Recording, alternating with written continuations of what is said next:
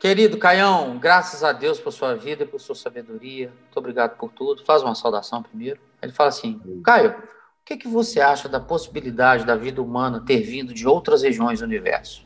Há uma teoria que fala sobre a possibilidade de uma antiga civilização em Marte que migrou para a Terra no início dos tempos. O que, que você acha disso, tem Caio? Muitas teorias sobre desse tipo tem demais, né? Essa hum. de Marte até uma das mais então nós somos é, descendentes de marciano, a história? Não, é infantil, daquele tipo infantil de, de ficção dos anos 60. E tudo te vinha de Marte nos anos 60. É aquela, aquele tipo de ficção científica. Né? Os ETs eram chamados de marcianos. Sim, tem até a música da, da, da Rita Lee que a Elis gravou, fez muito sucesso. Alô, alô, marciano. Aqui quem é. fala é da terra. É. Né? Para variar, estamos em guerra, você não imagina a loucura. O ser humano está na maior fissura porque está cada vez mais down no High Society. Pô. Não, 60, pô. 60, 70. Pois é. Ah. Então, eram os marcianos. Depois Final é que viraram os ETs. E aí as teorias aumentaram. Tem muitas teorias da vida humana vindo de fora, meu Deus, é só o que tem. É, é muito raro ter alguma coisa que diga que a vida humana nasceu diretamente de Deus, de Deus invisível, que tirou do nada. Não. O que a vida, a existência foi chamada do nada, tudo que existe foi chamado daquele verbo bara, lembrar, tirar do nada, criar ex nihilo, chamado coisa nenhuma. Então, a maioria das teorias e das teologias e das filosofias antigas e de qualquer que seja o nível e contemporâneas, eles vão só atualizando o modal tecnológico. Então, você vê é, no Egito Antigo e em outros lugares os deuses vindos do espaço que criaram os humanos.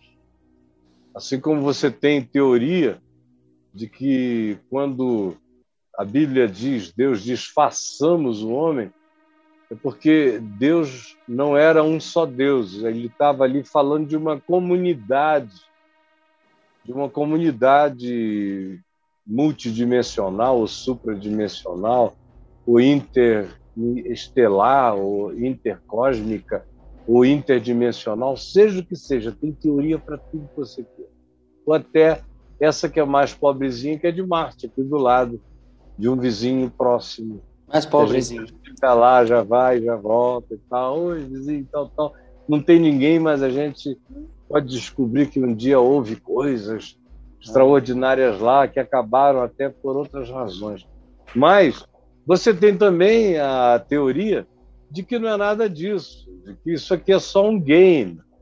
Nós somos só personagens de um game. É. E é só uma projeção 3D é, e com várias alternativas. A coisa ficou tão perfeita. É a internet das coisas e dos coisas. E não é 5G, é um trilhão G. Tá denso. Carne, cheiro, toda essa impressão de que as coisas são reais, mas, segundo essa teoria, é só uma projeção num game, você está só sendo jogado. Tem todo tipo. Se eu já ouvi falar, a minha vida é ouvir falar. Essa é a minha vida. Eu sou um, cara que não procuro nada, mas ouço falar de todas essas teorias. Eu acabo virando quase que meio caiocêntrico. Tem a teoria, alguém me conta a teoria. Joga para cima de ti. Ah, tudo é. chega em mim assim quase que instantaneamente. Essa ah, aí eu... era desde que eu era garoto. O que, eu recebo, o que eu recebo de coisa maluca, eu pergunto o que, que o Caio acha disso? Opiniões, o que, que o Caio acha disso? O que, que o Caio acha daquilo? Aí eu bota o vídeo. Também. É, o que, que o Caio acha? Entra na a minha. recebe? No meu, quando ela entra, por exemplo, no meu Instagram, ah. e ela começa a ver o que eu falei, a reação das pessoas. Sim, Ela sim. gosta de fazer essa viagem, ela faz. Hum. Tanto no dela quanto no meu. Ela vai, quando ela claro. vê que tem alguma coisa mais polêmica para as pessoas, ela entra, vê as respostas, dialoga e tudo mais. Tem toda essa paciência de dar todas as explicações. Ela é muito paciente, ouve muito essa coisa, pergunta para o Caio. O que, que o Caio acha? É. Que o Caio acha. Eu digo a ela, responda logo você. Porque se o cara quiser saber, faça, entre naquele naquele programa que eu fiz com ela, que ele disse, ela disse, que está aí. Ele disse, ela disse, sim. E aí é, eu não sabia de nada, eram as mesmas perguntas. Ela também não sabia de nada, não me ouvia responder. A gente respondia na mesma hora, eu aqui fora, ela lá dentro. O Tiago ou alguém da VMVTV aqui comigo e lá dentro outra pessoa. Normalmente era o Jerry com ela. Gravamos vários. Nunca discordamos em absolutamente nada sem sabermos o que o outro estava dizendo sobre as mais variadas perguntas. Então eu digo para ela, vá respondendo em meu nome, porque é como se fosse eu. É isso aí. mesmo coração. Eu e... que li as perguntas do, do, do, Ele disse, ela disse, eu que lia. É, você que lia. Eu que lia, é. é. Nossa, tanta coisa. Tinha perguntas enormes. Né? É. Estão todas disso? lá no Fábio foi, foi legal, foi legal aquele é. programa.